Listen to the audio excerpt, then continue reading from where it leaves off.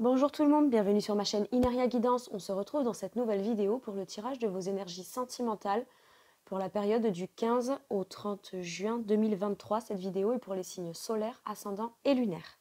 Allez, on y va. Cette vidéo sera pour les lions. Bienvenue mes lions sur votre vidéo et sur ma chaîne. J'espère que vous allez bien. Alors les lions, euh, euh, comme d'habitude, on garde bien à l'esprit que ça reste une guidance général qui ne peut pas résonner en tout point pour tout le monde. Si ça ne résonne pas avec vous, n'hésitez pas à aller voir votre signe ascendant et votre signe lunaire pour un autre message ou un complément de message. Pourquoi pas aussi revenir un peu plus tard sur la vidéo puisque des énergies qui ne vous résonnent pas de suite pourraient vous résonner plus tard. Et évidemment, si je vous dis quelque chose qui vous fait, qui vous fait penser à quelque chose qui vous est personnel à vous, que ça ait un rapport ou pas, c'est votre propre guidance intérieure qui intervient. Donc n'hésitez pas à en tenir compte comme message de votre propre guidance. Euh, comme d'habitude, en description sous la vidéo, je mets tous les tarots et oracles que j'utilise, ainsi que mon mail pour celles et ceux qui souhaiteraient me joindre pour une guidance privée. Et euh, je vous remercie toutes et tous pour vos partages, vos abonnements, vos likes, vos commentaires. Sans vous, ma chaîne ne serait pas ce qu'elle est. Alors, euh, merci. Merci du fond du cœur. Bienvenue parmi nous à toutes celles et ceux qui s'abonneront. Si le cœur vous en dit, vous serez les bienvenus parmi nous. Ok les lions, comme à mon habitude, depuis quelques temps maintenant, je vais aller euh, voir euh, à faire deux colonnes. La première colonne, de mon point de vue, vous représente. La deuxième colonne représente la personne en face de vous. J'entends par la personne en face de vous, la personne avec qui vous êtes en couple, avec qui il se passe des choses, que vous avez à l'esprit ou dans le cœur, que vous venez de rencontrer. Et pour les célibataires, celles et ceux qui n'ont vraiment personne de personne, ni dans la, le quotidien ni à l'esprit, eh bien, euh, ça peut représenter la personne euh, qui rentre dans votre vie. Évidemment, les énergies peuvent être euh, mixées, c'est-à-dire que ça peut être une situation générale, vous pouvez vous retrouver un petit peu dans les deux et la personne en face, pareil, un peu dans les deux, soit inversé. La première personne peut, de votre point de vue, se retrouver plus dans la première colonne et vous dans la deuxième. Il n'y a que vous qui savez ce que vous vivez, donc euh, n'hésitez pas à savoir où vous vous positionnez. Allez. Vous savez où vous vous placez normalement, en principe. Allez mes on y va. Alors, je vais aller les choisir celles-ci parce qu'elles sont immenses et mes mains sont minuscules. Donc le combo des deux, comment vous dire? Toujours très compliqué. Bon. Allez, mes lions. Alors, vous, dans votre situation sentimentale du 15 au 30 juin, ce sera celle-ci. La personne en face, ce sera celle-ci. Hop. Sur mon dos de deck, qu'est-ce que j'ai? Le manque. Eh oui. Le 4 de coupe, le 4 de fluide. Quelqu'un vous manque, vous manquez à quelqu'un, mais c'est réciproque. Hein. D'accord? Parce que là, c'est des énergies qui ressortent pour tout. Il manque quelque chose. C'est-à-dire que même si c'est quelqu'un que vous ne connaissez pas, euh, peut-être que quelqu'un vous manque dans votre vie. Ce qui vous manque, c'est peut-être vraiment euh, d'être aimé, de partager, de... Ou alors, si vous connaissez cette personne, voilà, il y a du manque de cette personne. Disons que vous êtes plutôt stable émotionnellement. D'accord? Euh, Il y a pu y avoir des hauts et des bas émotionnels, mais je dirais que là, vous êtes plutôt stable. Avec un 4 de coupe, euh, ça me dit aussi que quoi qu'on viendrait vous proposer, euh, c'est comme si qu'il manquait toujours ce petit... Admettons, vous êtes célibataire, vous rencontrez plusieurs personnes, ou vous avez rencontré dernièrement euh, des, plusieurs personnes pour, parce que vous avez envie de rencontrer quelqu'un. Il y a toujours un petit truc qui peut comme ne pas raisonner avec ce que vous désirez avoir, ce que vous voulez. Euh, il peut voilà, il manque quelque chose. Il manque quelque chose, mais c'est stable. Voilà, comme je vous disais, on n'est pas euh, non plus, euh, voilà, on n'est peut-être pas très bien, mais on n'est pas non plus très mal. Et même si on n'est pas très bien, ça reste stable. Je veux dire, ça fait pas des espèces de montagnes russes, voilà.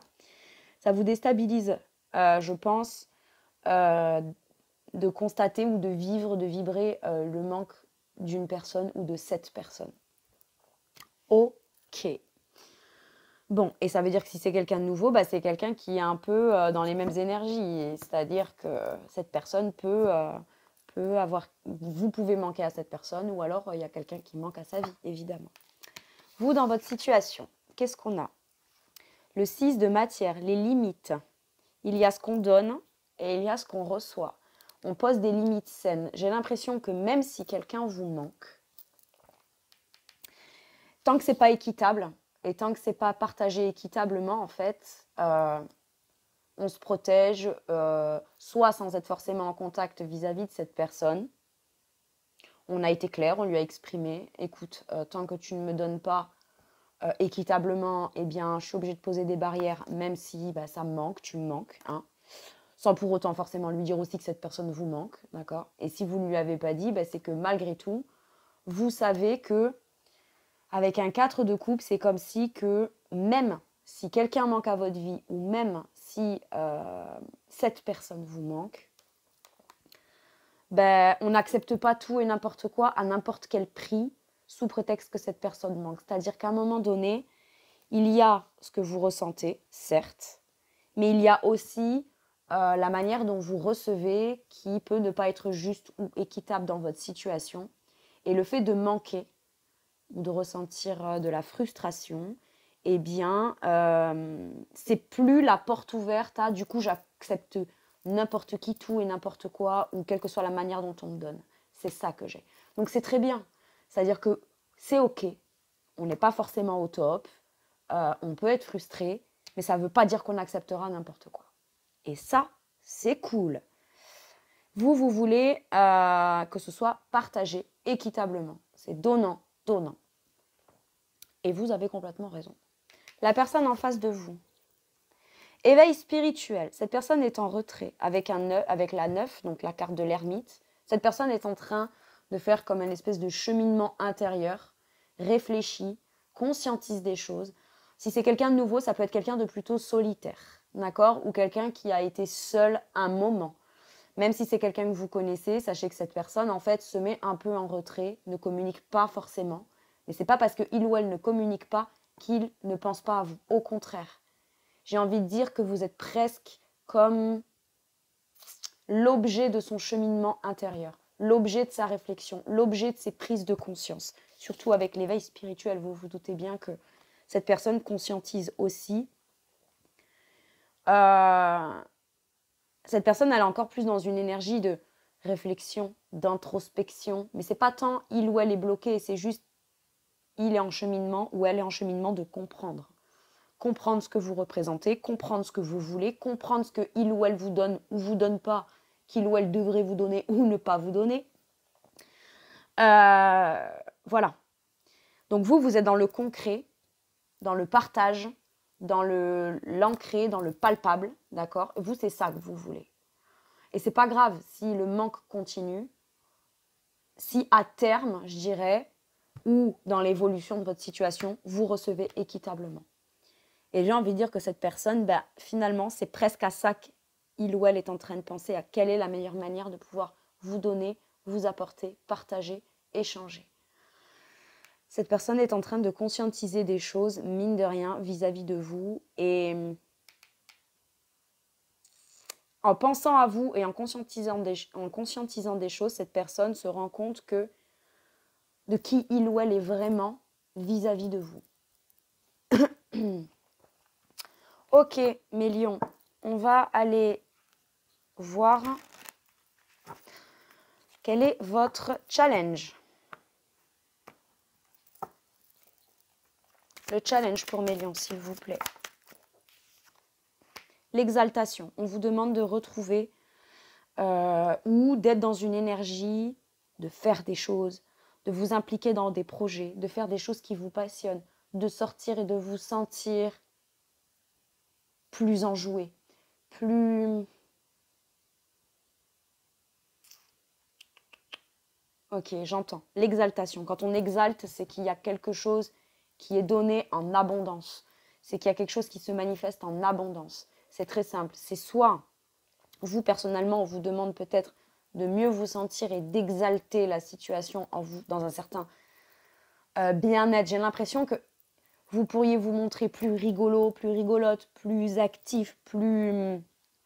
On sort, on communique, on parle, euh, on exprime euh, des choses qui sont assez vives, j'ai l'impression.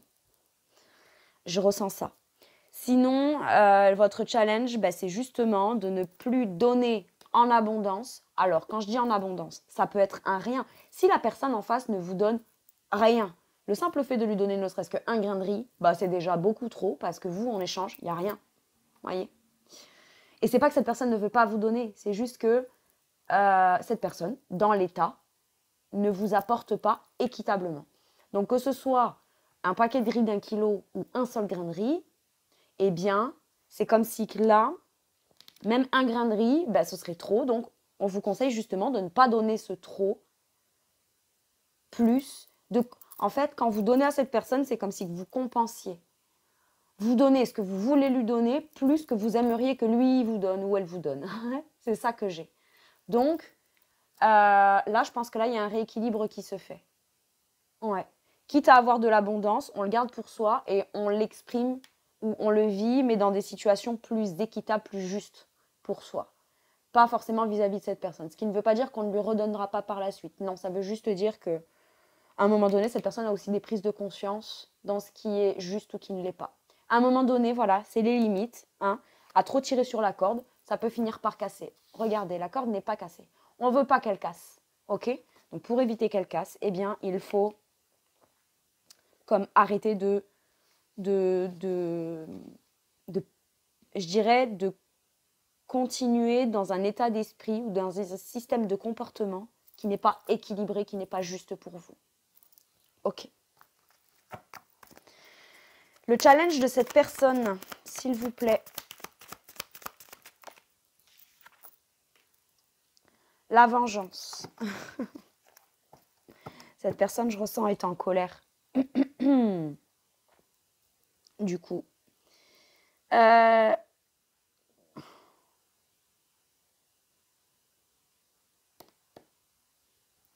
cette personne est en colère de quelque chose. Alors, j'ai comme l'impression que cette personne a pu se mettre en retrait, d'accord? Et quelque part, euh, si il ou elle voit ce que vous faites et au courant, a des nouvelles de vous, c'est quelqu'un qui ne serait pas content ou contente de constater que vous pouvez être bien sans lui ou sans elle. Et donc, euh, cette personne pourrait euh, vous envoyer comme des réponses à ça. Et parce que lui ou elle, ça le blesse, vous enverrez quelque chose ben, qui, de son point de vue, pourrait vous blesser comme lui ou elle est blessé. Ouais, c'est très particulier. Bon, euh, j'espère que je suis claire dans mes propos. Euh, en fait, cette personne est en train de se rendre compte que c'est comme si que vous êtes en train de payer, euh, de par son comportement, son éloignement. C'est vous qui payez les pots cassés soit de la situation qui est bloquée, soit euh, vis-à-vis de ce que d'autres ont pu lui faire. Cette personne, je ressens, a des personnes pas forcément bonnes autour de lui ou d'elle. Il est en train de s'en rendre compte, ou elle, quand je dis il, je dis il parce que je suis une femme et que j'ai l'habitude de dire il. C'est une déformation, mais quand je dis il, c'est cette personne, ok? Euh, Je vous disais que cette personne euh, est en train de conscientiser de qui devrait vraiment subir, entre guillemets, euh, ce qu'il vous fait à, vous ou ce qu'il projette sur vous, en fait. Euh, dans, dans, sa situation, à lui ou à elle, ce qu'il projette sur vous, en fait, c'est pas forcément à vous de ramasser ça. Moi, j'ai ça. Ok. Et d'un autre côté, ça peut piquer cette personne qui se met en retrait, qui réfléchit beaucoup, qui conscientise des choses. Euh, ça peut piquer cette personne de voir que vous, vous pouvez exalter de votre côté alors que il ou elle n'est pas là. C'est pas votre responsabilité en fait. Même si c'est quelqu'un de nouveau que vous rencontrez.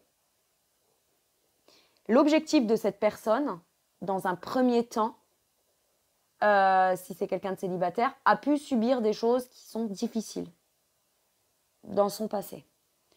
Il ou elle partait d'un état d'esprit de se dire Ok, je vais rencontrer quelqu'un, mais dans le pas forcément dans le but de vous rencontrer. Dans un premier abord, euh, c'est pas personnel, c'est pas contre vous, d'accord? C'est que d'un premier abord, on ne sait pas ce que cette personne a vécu. Il a pu se dire, ben voilà, je vais me trouver quelqu'un, et puis comme ça, ça me fera ma vengeance pour l'autre du passé. Sauf que, en fait, vous, vous savez ce que vous voulez. Vous êtes comme trop bien. Vous êtes comme trop bien. Euh, et une bonne personne juste et équilibrée pour que bah, quelque part on se serve de vous pour se venger de quelqu'un d'autre. C'est ça que j'ai. Ok. Donc le challenge de cette personne sera ben, une alors c'est soit il ou elle doit accepter de s'ouvrir à vous pour prendre sa revanche générale sur la vie, soit ne doit pas se venger de quelqu'un du passé par votre biais à vous. Vous voyez, j'ai ça. Ça, c'est pour les célibataires si vous êtes seul. Maintenant, euh, si vous connaissez cette personne et que cette personne s'est mise en retrait, ah, il y a des trucs qu'il pourrait constater chez vous que ça pique un peu. Hein. Et pourrait du coup avoir envie. Euh, mais bon, moi du coup, je suis pas très d'accord avec ça parce que si vous n'êtes pas avec cette personne, c'est parce que c'est cette personne qui se met en retrait. D'accord? Donc à un moment donné, vous, si vous vivez votre vie, il ou elle n'a pas à dire Ah ouais, ben, ça me fait mal ce qui est. Non, eh ben, à un moment donné, tu te bouges en fait tu arrêtes d'être en introspection, tu fais ce que tu as à faire, tu réfléchis vite et tu agis comme il faut, et puis au moins, cette personne, voilà. Vous, vous avez le droit de vivre, vivre, votre vie, c'est ça que je dis. D'accord? Vous, vous avez le droit d'exalter. Ok? Si cette personne, au final, veut vous faire mal parce qu'il a mal de vous voir vivre, euh, parce que juste il avait besoin de réfléchir, prendre un temps d'introspection, machin, ça n'empêche que vous, vous n'êtes pas un robot qu'on allume et qu'on éteint quand bon semble, quand, quand ça lui semble en fait. Vous, vous êtes une personne et on n'attend pas quelqu'un. Vous voyez On n'est pas là, figé, à se dire bon, ok, il se met en introspection, il a besoin de temps, bon, ben je vais là, je vais rester là, je vais rien faire et je vais l'attendre. D'accord? Bah non, vous avez votre vie, vous avez des amis, vous avez des choses à faire, vous avez envie de vivre, vous avez envie de. Voilà, ça c'est juste en fait. Voilà. Vous, ces choses-là, à la base, vous vouliez les vivre avec cette personne, vous voulez les vivre avec cette personne. Si il ou elle se met en retrait et que vous ne les viviez pas avec lui, vous avez le droit de le vivre avec quelqu'un d'autre. Ou d'une autre manière, avec des amis, en sortant et tout. Mais j'ai l'impression que, voilà, c'est lui, c'est lui ou elle qui est pas bien, qui doit faire le clair sur certaines choses ou faire le clair dans un entourage autour de lui, d'accord? Et il faudrait presque à la limite que vous soyez dans les mêmes énergies que lui ou qu'elle. Bah non, bah non. Pardon, je suis un peu en colère, mais voilà. Alors, votre atout, mes lions, dans votre situation sentimentale, quel est votre atout? La discrimination, bah ouais, vous vous rabaissez plus. Hein vous ne vous rabaissez plus, vous ne vous sentez plus inférieur. Euh, vous avez encore une fois avec le 6 trouvé un espèce d'équilibre, d'accord? Euh, Vous avez compris que même si une situation vous a diminué à un moment donné, ou cette personne, ou votre célibat, ou votre passé, bah ça c'est terminé en fait. On rabaissera plus ses exigences euh, par rapport à l'état d'être de l'état d'être de l'autre en fait. Super, bravo. On se rabaisse plus, on rabaisse plus les, euh, on se rabaisse plus vis-à-vis de l'autre et on ne se sent pas inférieur à l'autre en fait. Ok. En fait, vous avez une grande valeur. C'est ça qu'on veut vous dire. D'accord? Et ça, c'est votre atout. Et il y a une transformation à ce niveau-là, je pense, dans la conscientisation que vous avez de vous-même. Vous aussi. Vous vous rendez compte que vous avez plus de valeur que ce que vous pensez et même que vous méritez mieux. D'accord? Pas que cette personne, mais mieux dans l'échange de la communication avec cette personne. Mais vous, quoi qu'il arrive, vous voulez que ce soit juste. Plus vous vous sentirez rabaissé dans une situation et exalté. D'accord? Et vous avez raison. Alors, l'atout de cette personne en face. Et là, j'ai un signe du scorpion hein, en face. Enfin, en tout cas, une énergie du scorpion. D'accord? Donc, c'est quelqu'un qui peut prendre une décision. Je vous explique le genre. C'est quelqu'un je vais vous donner un exemple. C'est quelqu'un qui va, vous allez lui dire, qu'est-ce que tu veux pour ton anniversaire? Cette personne va vous dire, non, je veux rien. Bon, ça, on le, il y en a beaucoup qui le font et c'est déjà arrivé. Ok. Mais là, c'est vraiment pour vous donner l'exemple le plus commun et précis. D'accord? Donc, vous dites, mais si, moi je veux t'offrir quelque chose et ça me fait plaisir. Non, non, non, je ne veux rien. Bon. Et puis, euh, non, euh, voilà, ou alors laisse-moi réfléchir, je sais pas, machin. Bon, bah vous, vous attendez que cette personne, elle réfléchisse.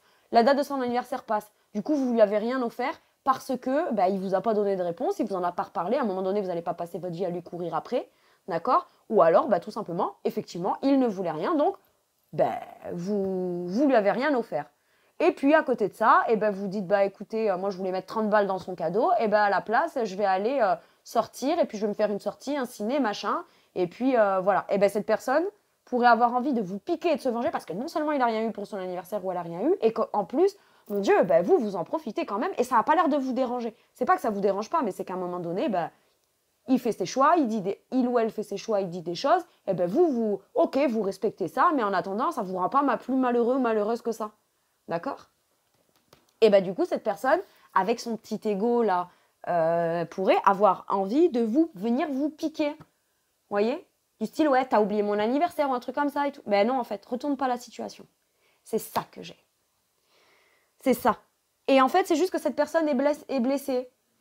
Voilà. Eh ben écoute, euh, monsieur ou madame, t'es responsable de ta blessure là. D'accord? Conscientise ça. C'est ça que cette personne se rend compte aussi. D'accord?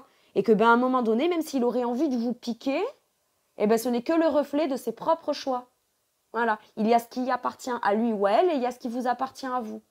En fait, j'ai comme l'impression que c'est quelqu'un qui vous dit quelque chose tout en espérant que vous ayez une réponse ou un comportement contraire à ce qu'il vous dit ou vous voyez ce que je veux dire?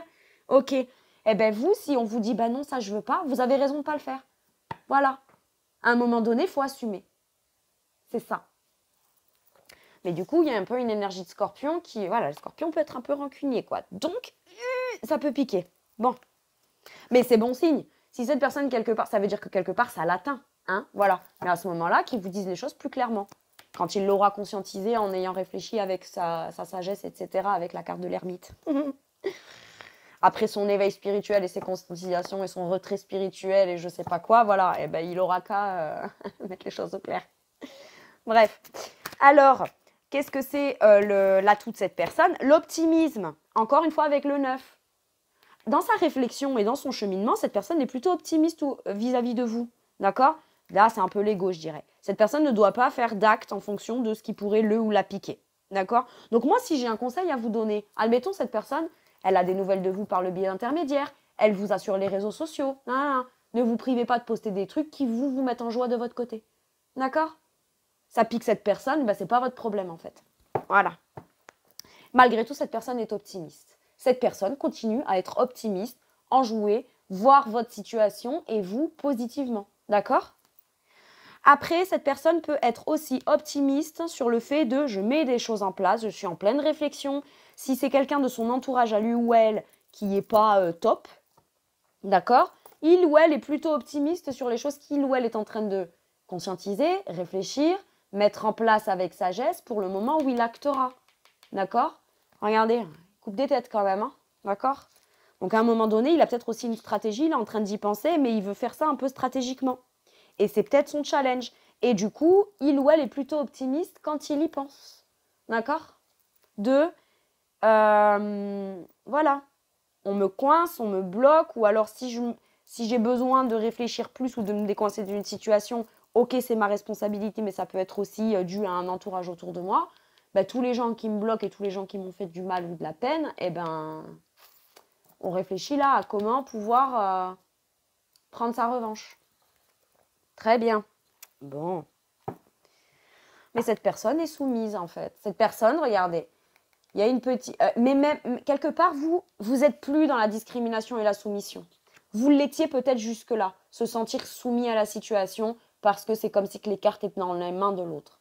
D'accord? Ou si vous rencontrez cette nouvelle personne, bah, étant donné que c'est lui ou elle qui se met en retrait, qui est plutôt solitaire, bah, forcément c'est à, lui ou elle de se débloquer. Vous vous donnez, puisque vous êtes sur un 6 de denier, vous êtes assez ouvert au partage. Donc à la limite, j'ai envie de dire, euh, si cette personne ne reçoit pas, c'est parce qu'il ou elle ne veut pas recevoir. Mais alors du coup, on ne peut pas venir vous le reprocher derrière.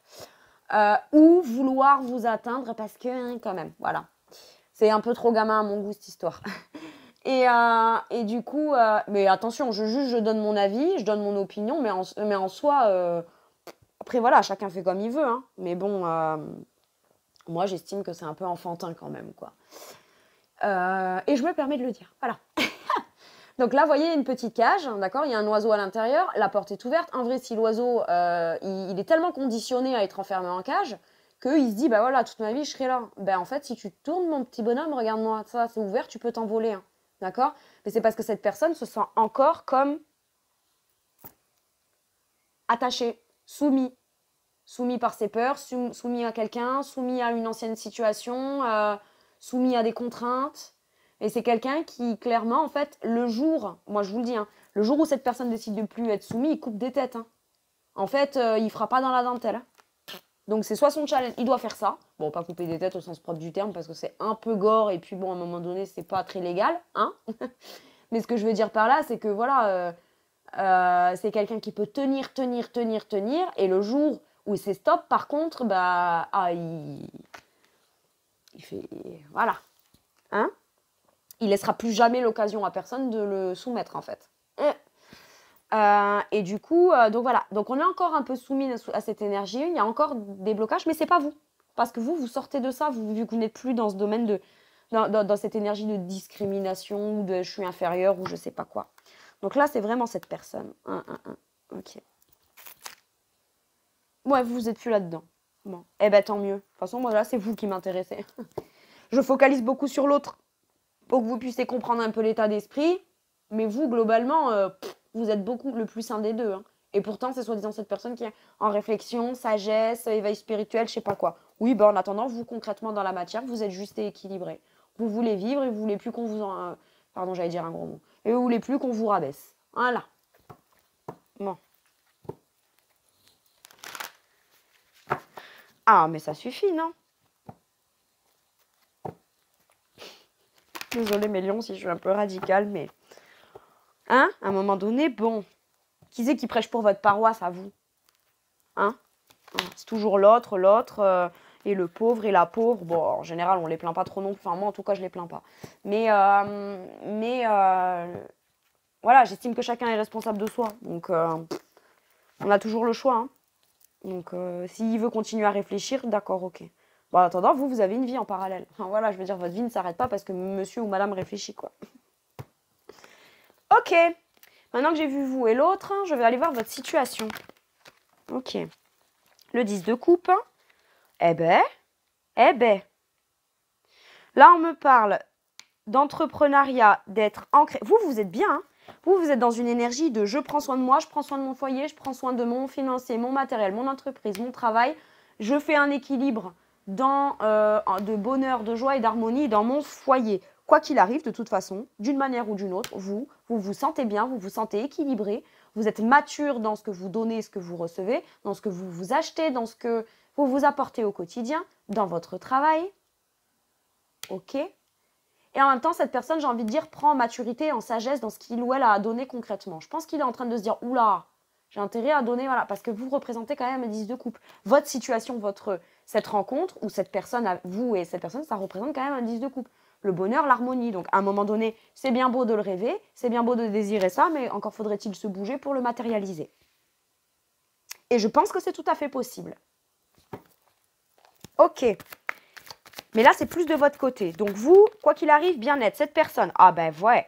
Après, on a de l'avancée. Regardez, on n'est plus sur un 3DP, du blocage. Du... Non, cette personne, elle est en repos, elle est en retrait, elle réfléchit, elle médite et elle est en période de guérison.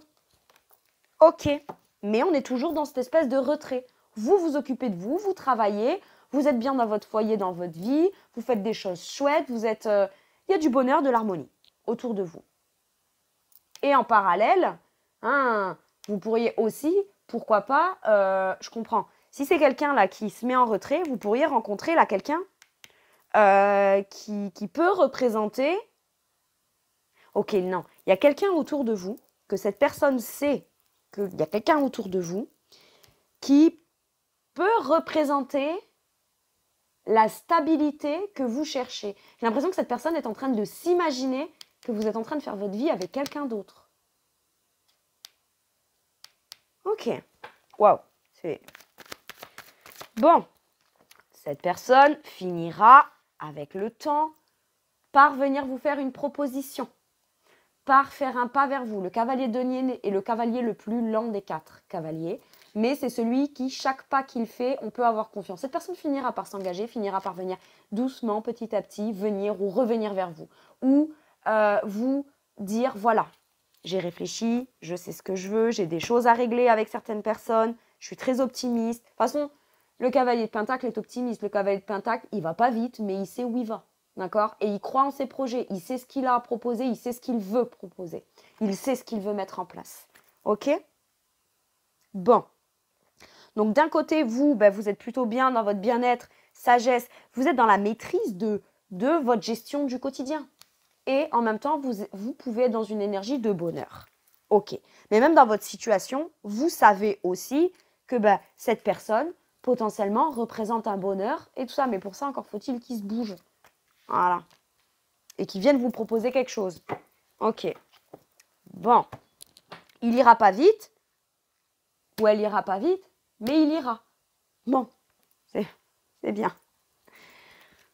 Finalement, euh, peut-être que énergétiquement, là, je fais tout pour euh, que cette personne, elle se bouge. J'y mets tout mon cœur, en tout cas. Bref. L'évolution de cette situation. Alors, sur ce 10 de coupe, qu'est-ce qu'on a? La réussite. Un nouveau départ. Vous, professionnellement, ça va. Vous pourrez recevoir même peut-être une belle somme d'argent. En plus, avec la 19, le soleil, c'est les retrouvailles, les réconciliations, le bonheur, la fertilité. Tout.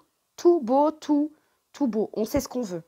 Et c'est ça qu'on aura. Et j'ai la réussite, il y a bien ce nouveau départ et de la confiance dans un nouveau départ qui mène à un, bonheur, à une harmonie dans un foyer, un bonheur total. Ok. Qu'est-ce que j'ai ensuite? Bah, Le célibat heureux. Vous, vous êtes bien seul. Vous, vous êtes bien seul. D'accord? Et en même temps, ça me dit que vous êtes bien. Vous voulez peut-être rencontrer quelqu'un, mais vous êtes bien. Si cette personne, bah, vous le rencontrez ou la rencontrez, peut paraître un peu solitaire, a des choses à régler, ça, comment dire? J'ai l'impression que là, ça n'entachera pas le fait de votre bien-être personnel. Vous êtes bien. Et en même temps, la 16 peut me parler quand même d'un bouleversement, d'un événement, mais surtout d'un coup de foudre. C'est possible. C'est possible. Pour celles et ceux qui sont célibataires et qui n'ont vraiment personne. Maintenant, vous, vous êtes bien.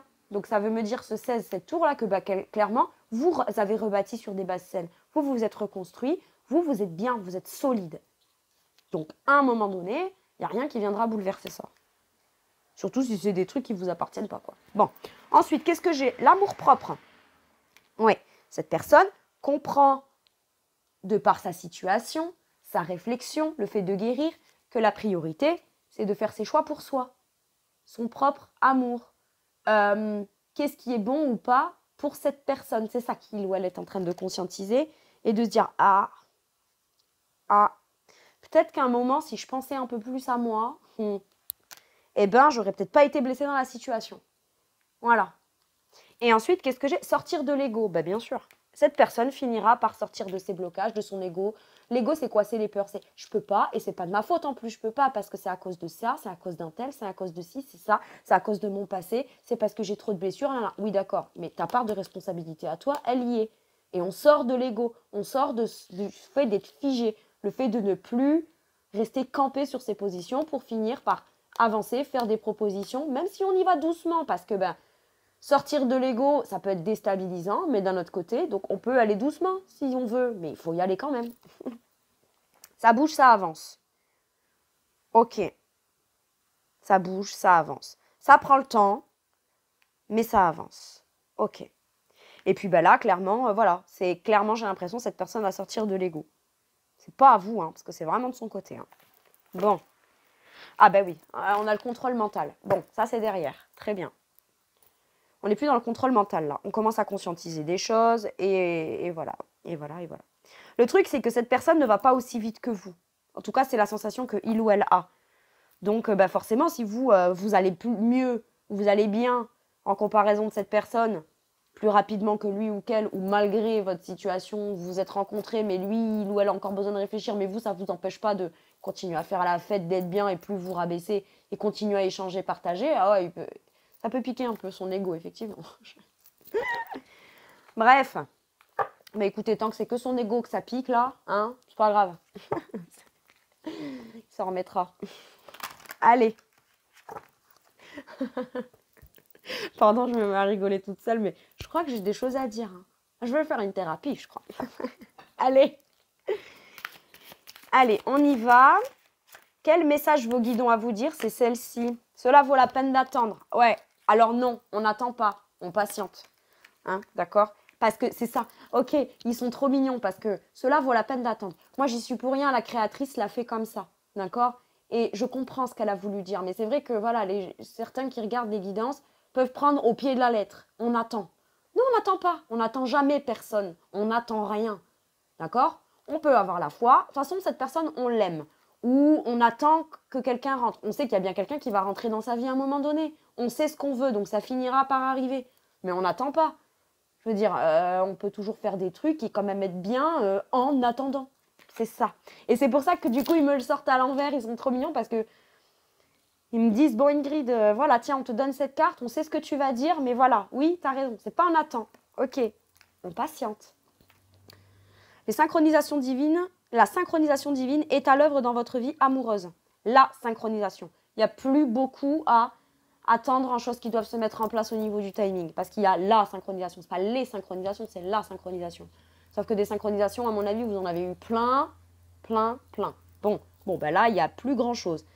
Mais on vous dit que, ben ouais, cette personne attend le bon moment, cette personne attend la bonne réflexion, cette personne attend de pouvoir mettre en place sa stratégie, euh, cette personne a raison de rester optimiste.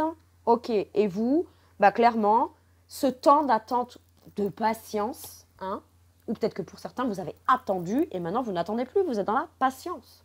Très bien. Et ça, ça, c'est parfait. Mais du coup, vous avez conscientisé que tout ce temps-là, il bah, ne fallait pas le perdre en fait. Enfin, le perdre, je m'entends, on perd jamais son temps. Si à un moment donné, on a besoin d'être là et d'être figé, bah, c'est que c'est nécessaire, mais il y a forcément quelque chose à en comprendre.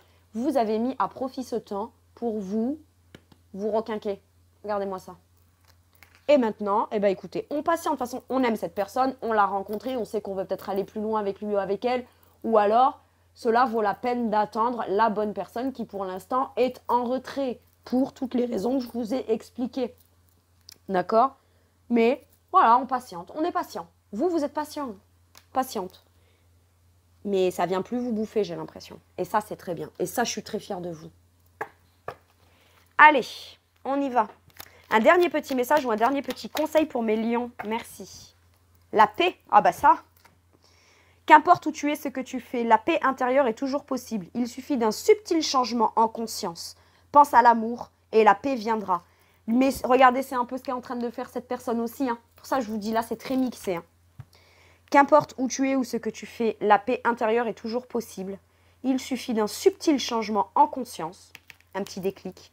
Pense à l'amour et la paix viendra l'amour pour la bonne personne et l'amour propre aussi.